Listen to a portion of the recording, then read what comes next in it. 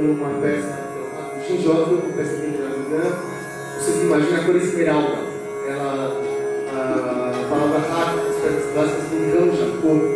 É, a cor é muito importante. Ela, os védicos, na verdade, operam uma cromoterapia, uma musicoterapia já há mais de 7 mil anos.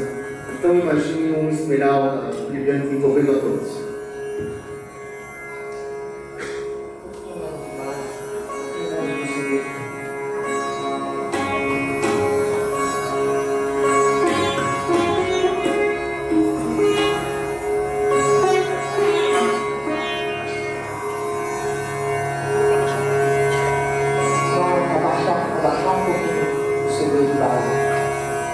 Instrumento de uma procura que fica fazendo assim como se fosse um baixo contínuo para dar uma sinal.